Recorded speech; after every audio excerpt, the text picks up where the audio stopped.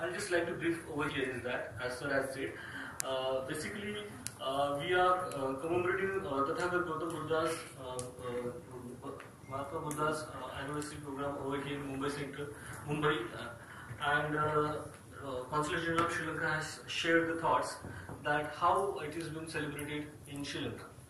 This one, and in Thai, how they commemorate and celebrate. So, yeah. So these are the things. So we would like to, uh, and this program is going to be celebrated on behalf of the government uh, in Mumbai at Gateway of India and a public place, uh, so that the message of peace given by Lord Buddha uh, and the message